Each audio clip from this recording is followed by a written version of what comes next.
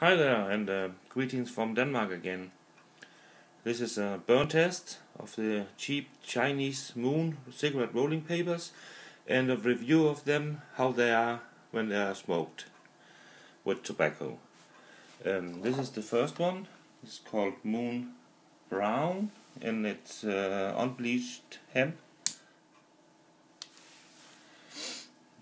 This paper, when uh, used in a cigarette, uh, leaves quite some ash and um, it's uh, it goes out the cigarette goes out by itself.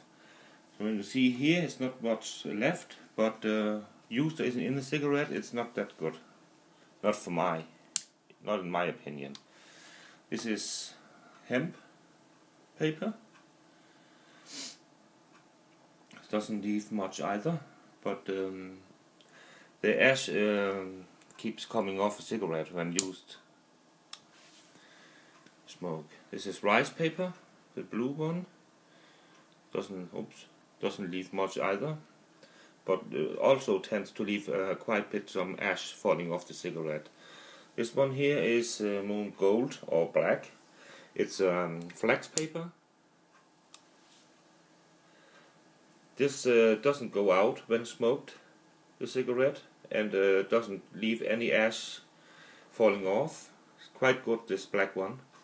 And the red is old style wood pulp. No ash and doesn't go out either. But it's probably gonna leave some ash here on the paper. Yeah. But actually when smoked, this red moon here, um, no ash is falling off at all. So by smoking is the this is the best and this is the second best. These three I uh, don't like because the cigarette goes out by itself and uh, the ash is falling off.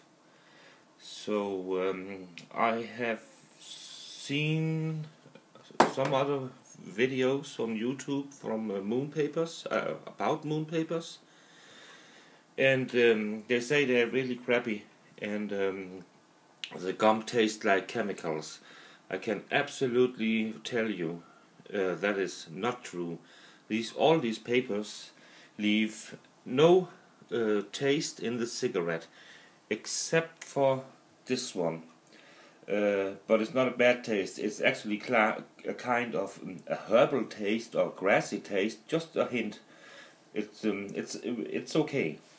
And uh, the others, uh, no taste at all no taste at all. Um, I uh, took uh, or removed the gum from the papers and uh, rolled them like uh, ungum papers to see if um, there will be any uh, taste change, or change in the taste with the gum or without the gum, and uh, there's no uh, no um, no difference. You can't taste the, the the glue or the gum for the cigarette, so if that had been very chemical treated, this gum, or what you call it, um, you, you would have been able to taste it and at least taste the difference when used without the gum and with the gum and there is no difference so you can't taste taste the gum either so um, in my very honest and true opinion these papers are actually excellent papers they are actually very good and they are dirt cheap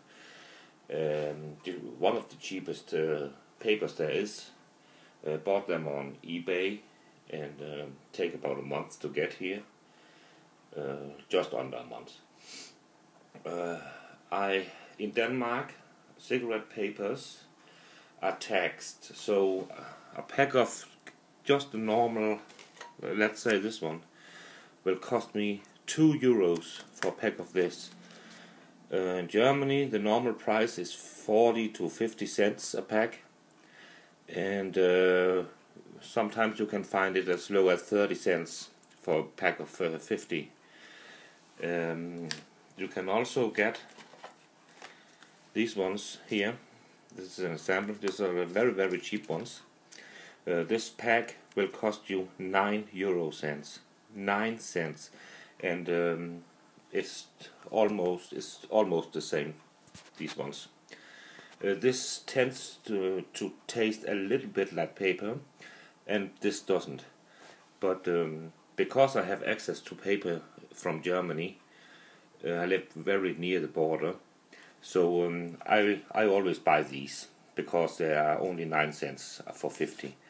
Uh, if I didn't have access to the German papers, would have no taxes on it, I would uh, buy these from from eBay. Um, yeah, that's it. I think. Yeah. Okay. That's yeah. That's it. Bye for now and uh, take care.